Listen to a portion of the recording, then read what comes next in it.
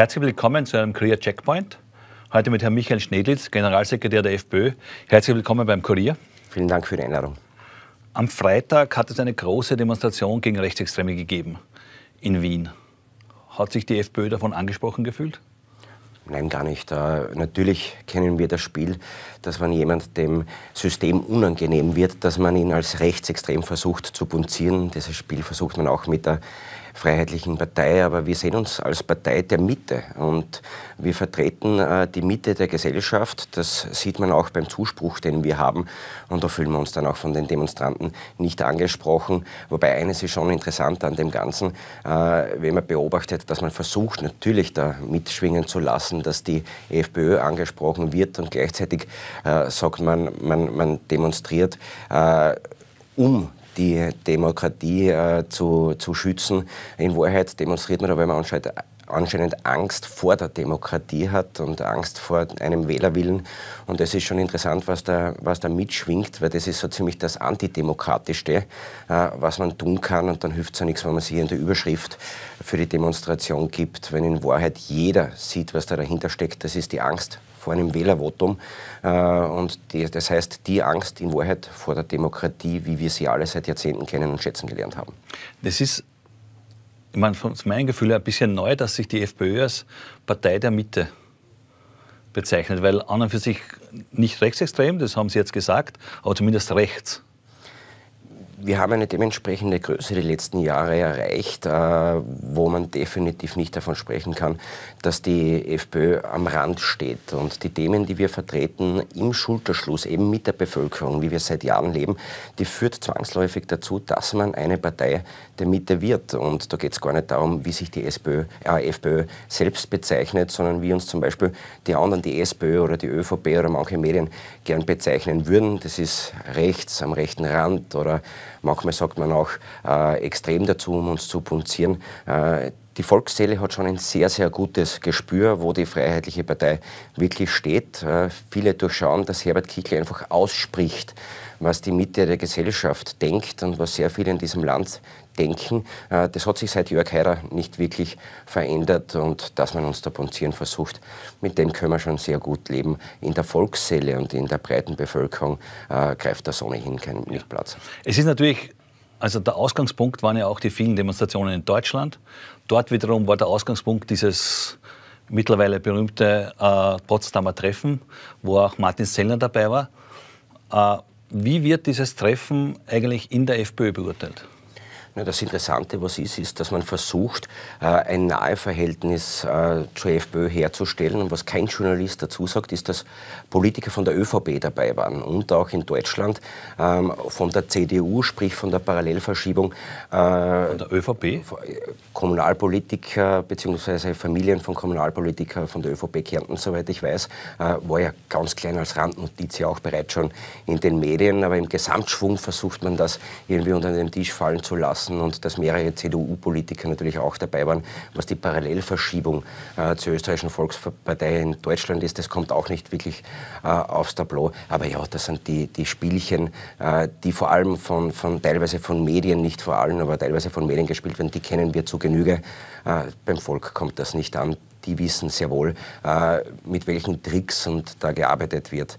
Und deshalb sehen wir auch das komplett gelassen. Ja. Aber wie ist das Verhältnis jetzt konkret zu Martin Sellner? Und die Identitären gibt es ja so nicht mehr als Verein, sondern glaube ich, die heißen jetzt die Österreicher. Dasselbe Verhältnis wie immer, nämlich ein, ein, ein Nicht-Verhältnis wie zu anderen NGOs. Äh, es gibt durchaus Inhalte, die wir teilen, äh, aber so wie wir auch die Inhalte mit, mit anderen NGOs teilen, wie teilweise äh, durchaus, was den Tierschutz betrifft, mit NGOs und ähnliches. Hm. Äh, bleiben wir nur kurz, weil das Deutschland ist auf der europäischen Ebene.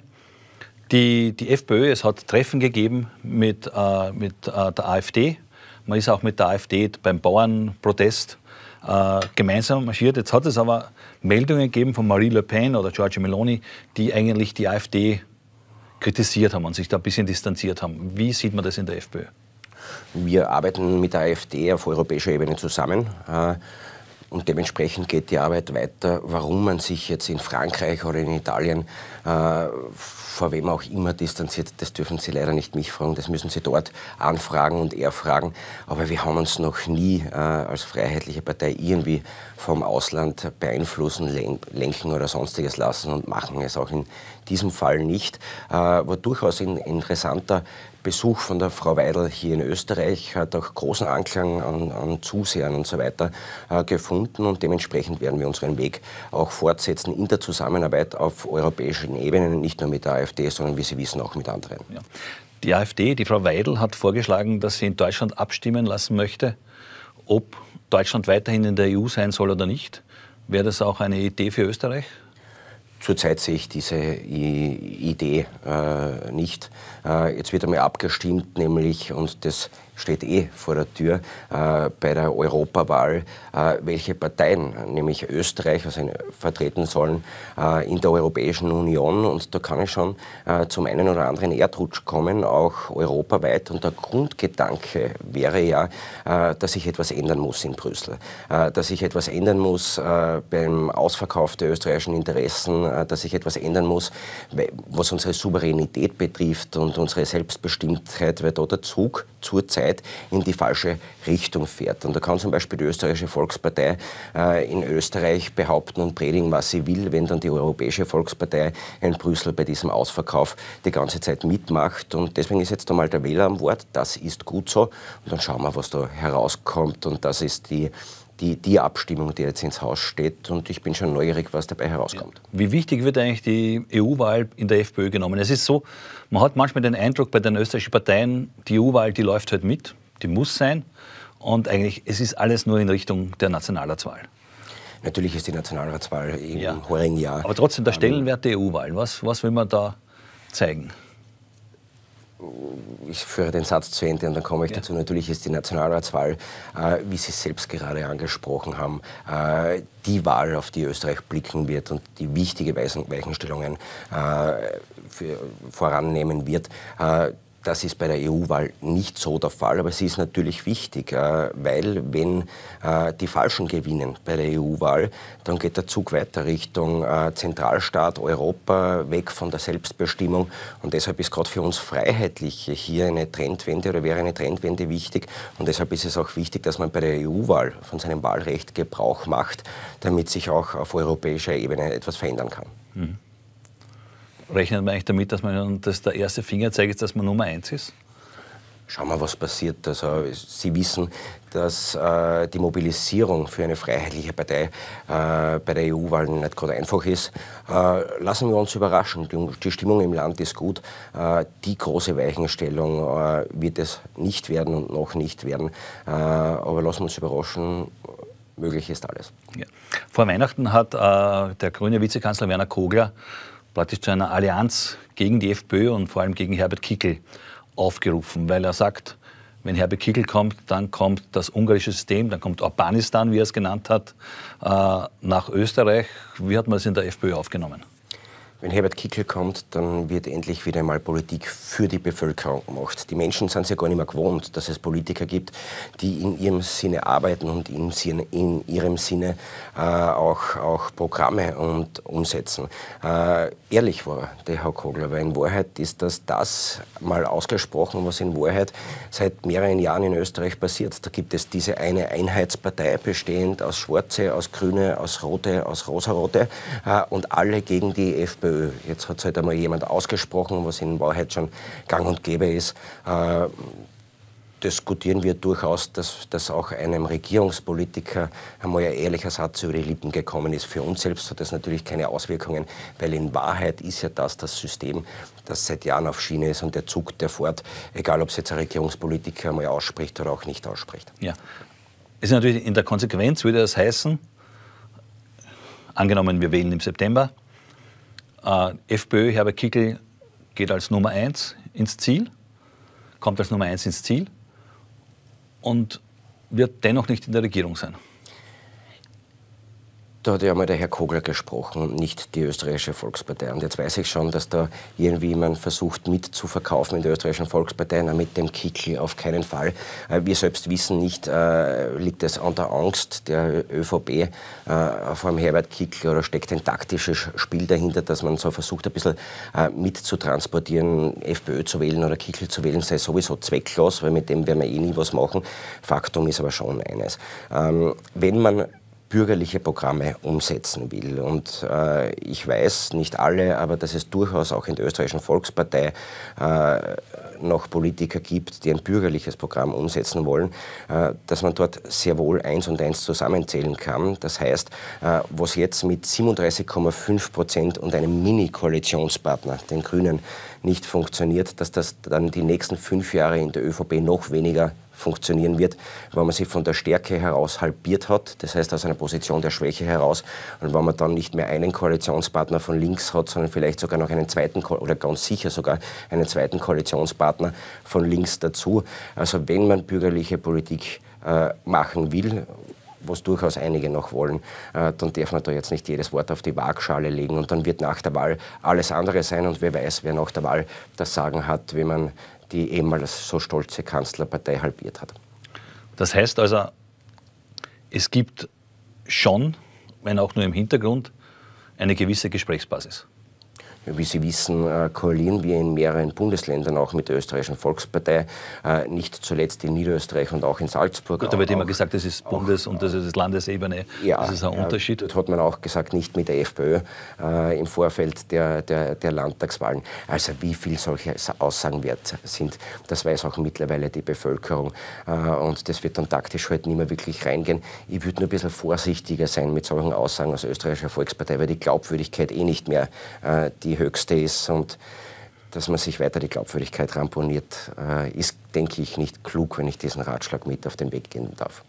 Jetzt weiß ich nicht, wie genau Sie den Österreich-Plan des Kanzlers studiert haben, aber es kommen ein paar Punkte vor und da wollte ich gerne wissen, ob sich da eigentlich die FPÖ angesprochen fühlt. Das ist Punkte Sachleistungen statt Geldleistungen für Asylwerber, eine Leitkultur, äh, Vorgaben für die Integration, Vorgaben für die Staatsbürgerschaft, Vorgaben für Sozialleistungen und so weiter? In Wahrheit ist es eine Blaupause der Freiheitlichen Partei, wie man es ja schon einmal versucht hat äh, von Seiten der ÖVP. Deswegen kann ich, äh, um, um, um, mit etwas Positivem zu beginnen, äh, durchaus der ÖVP ausrichten. Das sind durchaus Punkte, die sie als Juniorpartner in eine Koalition hineinverhandeln können. Das wird doch dann funktionieren, weil sie eh auch unsere eigenen Punkte sind.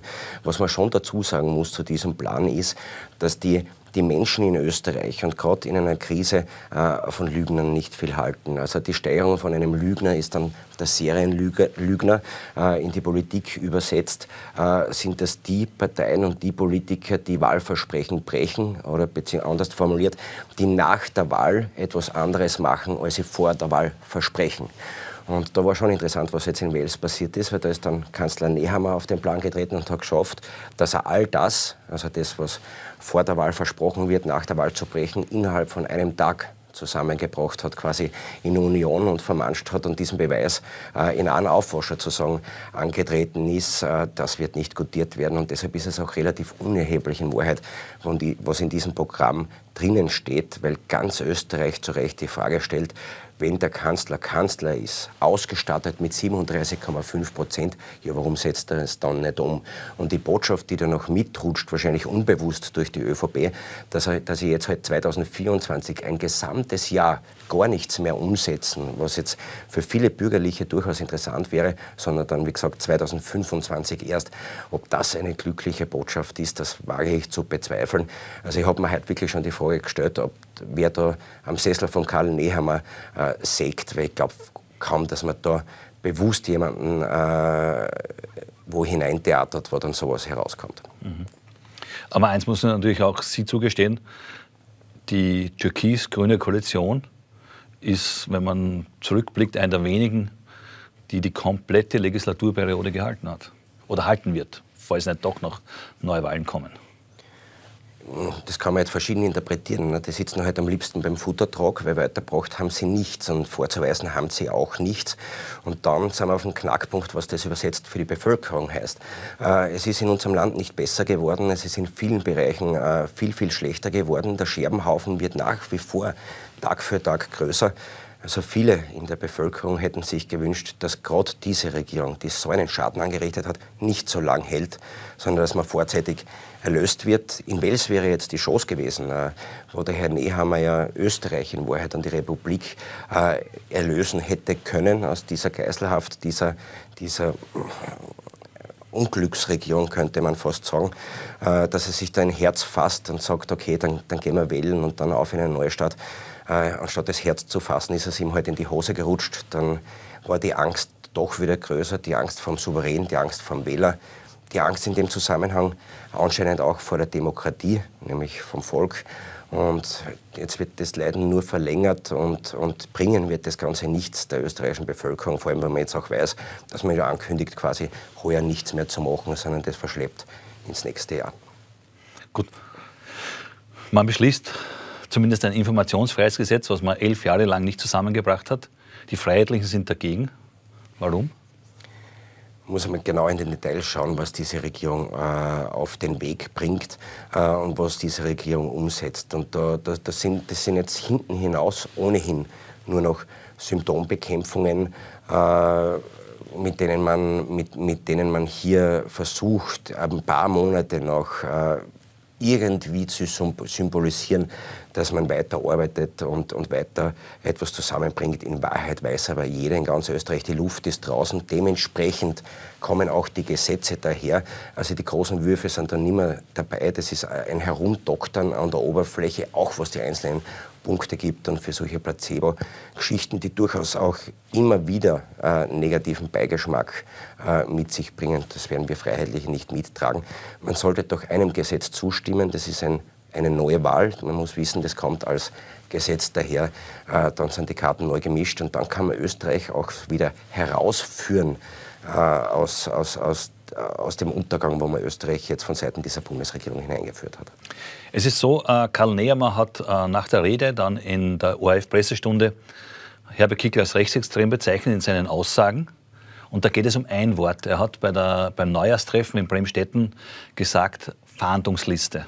Ja, war das, ist er da zu weit gegangen?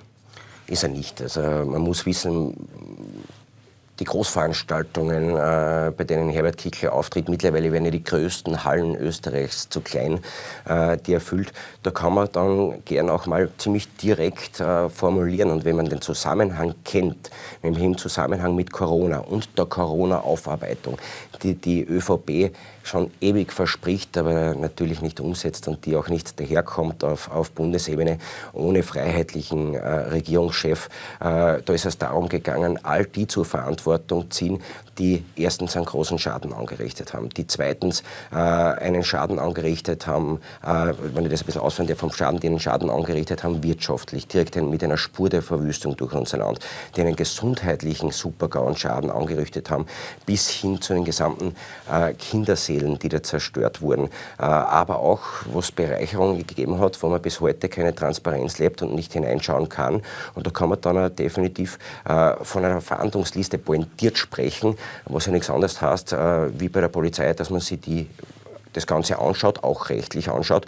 Und es würde mich nicht wundern, äh, wann, wenn es dann auch zu der einen oder anderen strafrechtlichen Verurteilung kommt, gegen wen auch immer, bei all das, was bei Corona aufgeführt worden ist, vom Schaden bis zur Bereicherung über die teilweise Freundalwirtschaft, die da im Raum steht. Und dann kann man das Kind auch beim Namen nennen. Ja.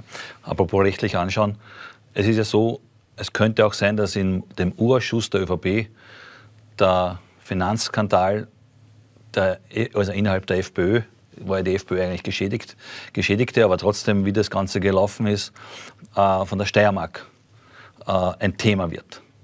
Wie sieht man das in, in, bei den Freiheitlichen? Ja, mit, mit völlig offen. Also wie Sie es gerade dankenswerterweise im Vergleich zu anderen Medien richtig erwähnt haben, die FPÖ ist in diesem Fall Geschädigter. Und gehen tut es um einen Mitarbeiter, der Selbstanzeige gemacht hat, äh, gehen es um ein paar Gemeinderatsproponenten. Äh, Gebracht wird das Ganze natürlich jetzt auch von der ÖVP Richtung U-Ausschuss ein bisschen anders, weil keinen österreichweit interessiert, dass ein Herr E äh, der Mitarbeiter war, der sich da selbst bereichert hat, am Rücken der Freiheitlichen Partei. Also in Wahrheit hat er ja äh, mutmaßlich uns ins Taschel hineingegriffen und man versucht das jetzt aufzuplustern gegen einen Mario Kunasek, äh, ein Medium in Österreich, er blödet sich nicht einmal, das aufzuplustern gegen Herbert Kickl oder das zu versuchen, sich aufzublasen Richtung Herbert Kickl. Ähm, wie gesagt, wir sind dem relativ gelassen entgegen und sind durchaus dankbar, wenn wir da darüber sprechen können und, und wenn da völlige Transparenz herrscht. Und deshalb haben wir wieder absolut kein Problem damit, wobei das ein Manöver von der ÖVP natürlich auch durchschaubar ist. Man versucht einfach zu skandalisieren, weil erstens die österreichische Volkspartei die Steiermark nicht verlieren will und Sie kennen vielleicht die letzte Umfrage, wo es die ÖVP zertrümmert in den Umfragewerten. Also da ist ein bisschen eine Schützenhilfe, auch für einen vorblosen äh, Herrn Drexler mit dabei von Seiten des Bundes äh, und dass man natürlich da versucht, Nebelgranaten rund um den KOFAG-Untersuchungsausschuss auch auf den Weg zu bringen. Dieses Spiel, das kennen wir durchaus also auch. Ich glaube nicht, dass Marek Bonasek so das stürzt. Nein, schließe schließ ich aus.